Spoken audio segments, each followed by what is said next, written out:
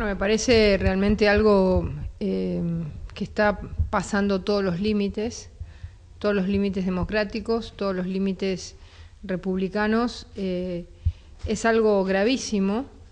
El sindicalismo argentino se convierte en un espacio sin ley, donde cuando hay un juez, y en este caso además un exhorto de la justicia suiza, que poco tendrá que ver con cualquier tipo de interna o de problema en la Argentina, eh, por un delito gravísimo como es lavado de dinero, tanto a él como a, Pablo Moyano, a Moyano padre como a Moyano hijo.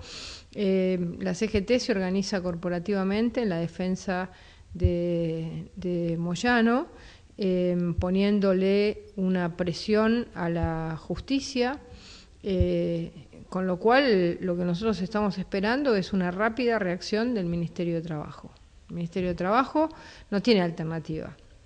Las alternativas normales para cualquier conflicto es la alternativa de una conciliación obligatoria. Acá no hay con quien conciliar porque no hay una causa sindical o una causa laboral por la que se decreta un paro, sino que hay un eh, exhorto judicial de Suiza. En consecuencia, el Ministerio de Trabajo debe declarar la ilegalidad y en caso de no haber acatamiento de parte del sindicato o los sindicatos que actúen, eh, deberán eh, restringirle o quitarle la personería. Eso es lo que se tiene que hacer. No puede el señor Moyano, la CGT, parar el país porque hay un exhorto judicial que no le gusta. Eh, esto es realmente gravísimo y ponen en, riesgo la gobernabilidad de la Argentina. está claro que eh, la Argentina sí es imposible de, vivir, no hay institución que, respete el sindicalismo.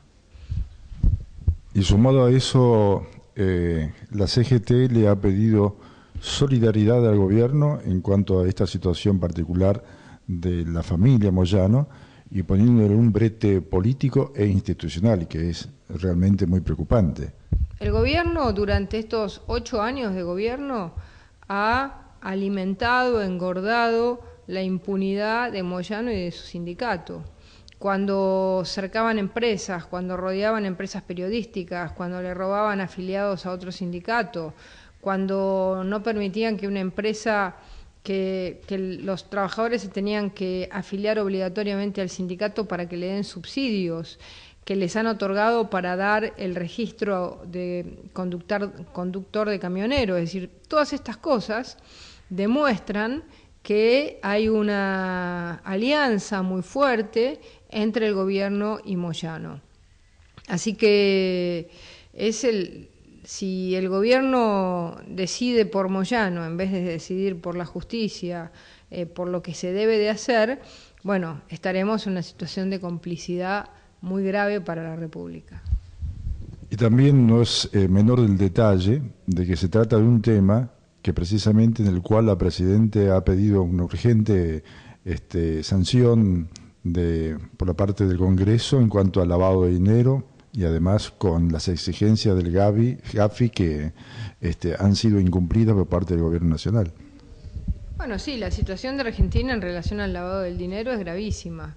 Eh, no solamente hoy está siendo exhortado por Suiza Moyano, también la justicia argentina en la investigación por los fondos de la campaña del Frente para la Victoria en la fórmula eh, Cristina de Kirchner y Cobos en el 2007 eh, también están investigados por lavado de dinero, por haber lavado dinero de empresas eh, y droguerías. En consecuencia, es algo que está rondando el poder y, es muy preocupante. ¿Cómo va a cumplir? Claro que estamos incumpliendo. Si los, mismos actores que deberían ser los que tienen que eh, poner la ley en su lugar son las que la están violando. Eh, si bien este, la titular del, bloque de la coalición cívica ha trabajado muchos años, inclusive junto a, la actual presidenta de la Nación, sobre el tema del lavado de dinero este, y, e investigaciones que se han hecho en su debido momento, ¿van a volver a insistir a ustedes a través de, con estos episodios de pedido presidencial? Mira, nosotros tenemos un programa de transparencia sindical de hace muchos años y además cuando yo fui ministra de Trabajo lo llevé adelante. Em, nunca en mi vida sufrí tantas presiones como cuando presenté la obligación de la declaración jurada de bienes de sindicalistas, pero hemos vuelto a presentar eso aquí en el Congreso, un balance auditado de las obras sociales. Acabamos de presentar un proyecto para que la Auditoría General de la Nación audite a las obras sociales y les impida que los familiares puedan tener empresas conexas, que no puedan hacer fideicomisos. Acá hay mucho que transparentar en el sindicalismo argentino, si no queremos estar todos los ciudadanos presos de un sindicalismo que cada día está más mafioso.